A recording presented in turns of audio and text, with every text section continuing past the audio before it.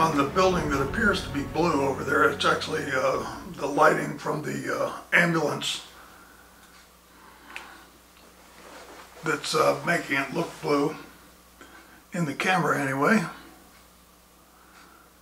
Um, I've been working on this building, um, which is Sarah's old building. Well, it's not Sarah's old building, I mean it's Sarah's building. Um, and as you know, I lighted the, uh, the high rise, and then I lighted the building on the left over here, and tried to make them look lived in, like not just put a one LED in the whole building and just have all the lights on. You know, treat each one as though it were a separate flat with a slightly different color palette, lighting from a different direction so that the LEDs aren't all in exactly the same place. Some are high, some are low, some are on the side, some are in the middle.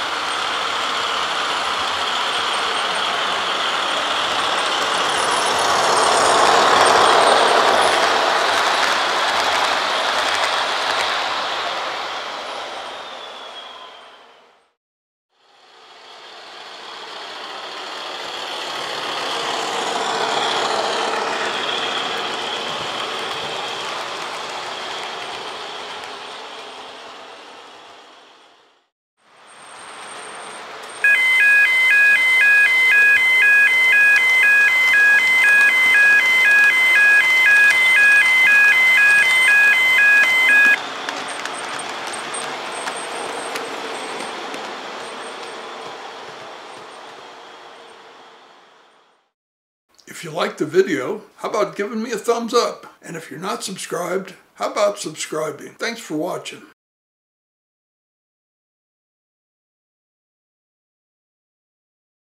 What I decided I wanted to do was figure out a way so that instead of just being solidly lit all the time, that there would be some variations you know, occasionally a light would go out or one would come on. And uh, right now, the only one I have hooked up, oh, you just saw it, uh, that porch light came on. Uh, they're either getting ready to go or uh, maybe expecting some guests to come over and they've got the light on for them. But uh, that's what I'm shooting for. Now I can do that once I work out how I'm going to do it and come up with a relatively easy way to do it. Well, compared to what I'm doing now anyway.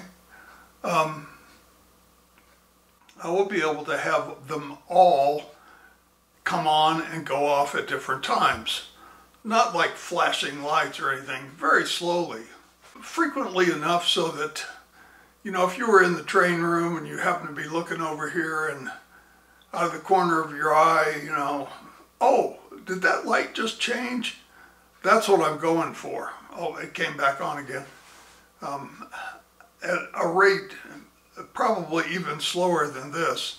I have this one cranked up a little bit just so that uh, for the purposes of this video we can actually see it working.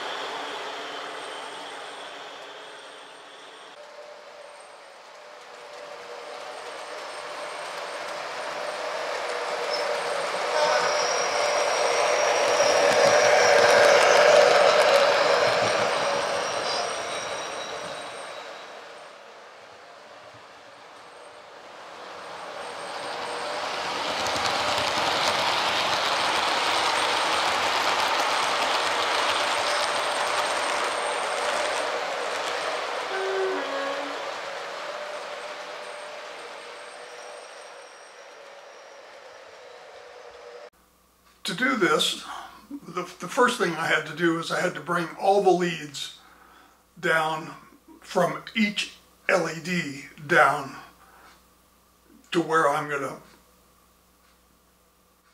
establish the controls, which I actually did on the other two. So uh, the, all three have uh, each room or each LED has a lead that comes down to a central point.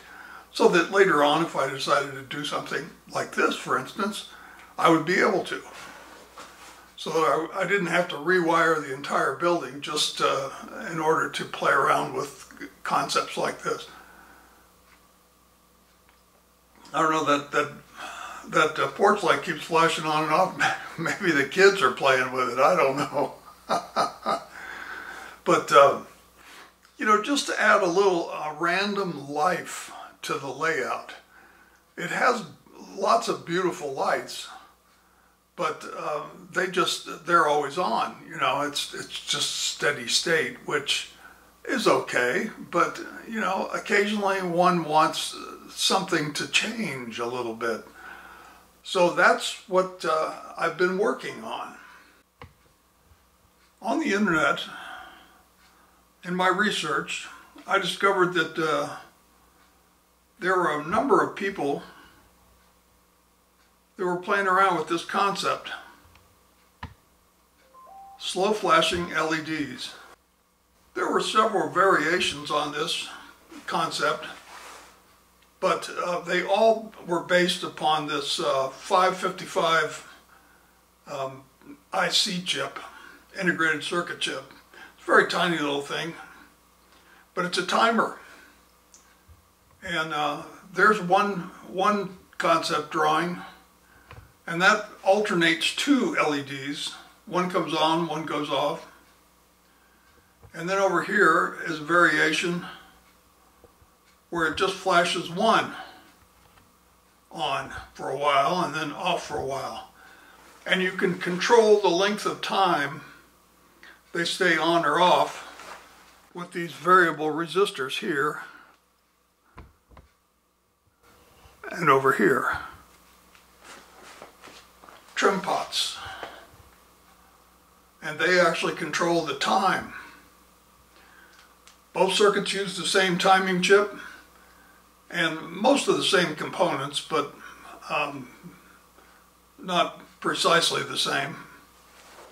10 microfarad uh, condenser or capacitor. The resistors vary. I started out trying to operate mine on 12 volts, but uh, I didn't like some of the problems I ran into, so um, I've decided to go with about 6 volts. I'm going to feed this, uh, this building with about 6 volts, which seems about right. Let me scroll over here. I'll show you what I'm using as a power supply.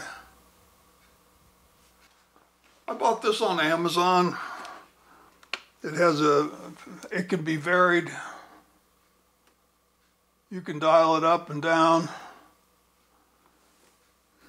with this uh, little rheostat here. I have several of these around the layout and they're all set for 12 volts DC, but the, they're all hidden because um, I'm concerned that someone might come by and crank up the voltage on it and blow a bunch of stuff out. So uh, I don't have them uh, available, exposed, should we say, and this one won't be either. But it's a relatively simple little circuit. And here are the two that I built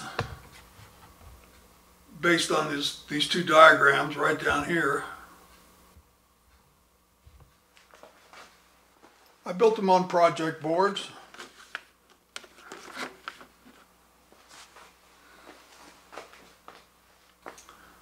The same way I built the, uh, the resistance control for the individual LEDs.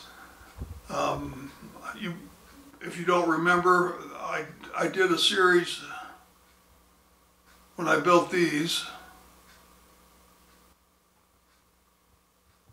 That's the control for uh, the, the high-rise building up here. And when I turn up the room lights, the daylight, you really don't notice it much. You know, there, there's a little, there's a light on here and there, it would seem, but um, you don't really see it much. However, when you turn the lights out,